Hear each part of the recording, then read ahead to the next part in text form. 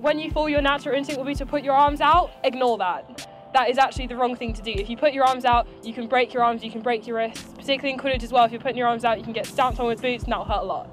So you want to keep your arms close to your body, you want to keep your chin close to your chest so you don't hit your head, and you want to round out your shoulders and try and like go fall in a curve because that will spread the impact and stop it hurting as much.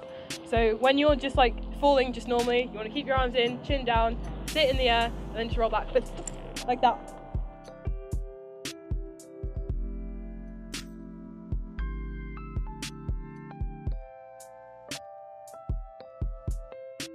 When you want to come in, you want to step in, you want to have a nice wide base, and you want to step with the opposite foot to the hand you're going out, so you're going in. So I'm right-handed, so I'm going to step forward with my left foot, opposite, so opposite. So I'm like going across his body.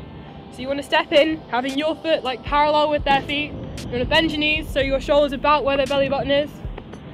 you want to put your arm in. You want to have your hand on the small of their back. If you see where my hand is, on the small of their back. You want to grip, so pull into your body like you're hugging them, and you want to walk through.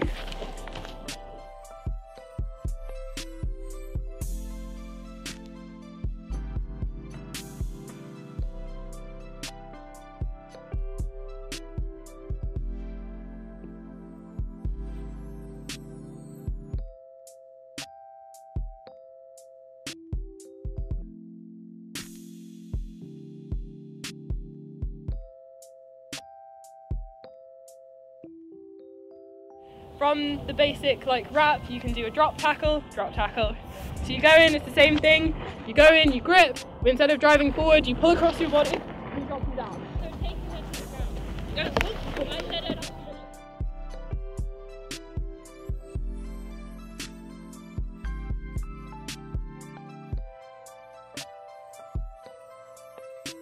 You can also do a link tackle. So you're probably mostly familiar with that as well. So you go in, you link their arm and you drop down.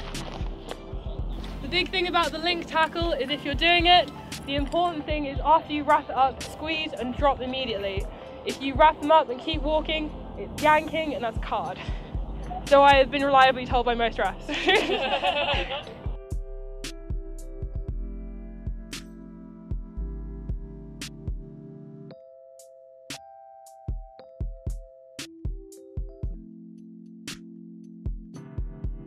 the purpose of a tackle isn't to put people on the ground. The purpose of a tackle is to basically inconvenience them so they do something stupid. So you don't necessarily have to put them on the ground 100% of the time, but if you stop them moving so the beast can get there, or you put them off balance so they make a bad throw so you can get possession, or you push them, push them off the pitch, or stop them sprinting so they don't just like drive through, those are all valid, like those are all what tackles are there for. The main point of a tackle is basically to ruin someone's day and inconvenience them greatly.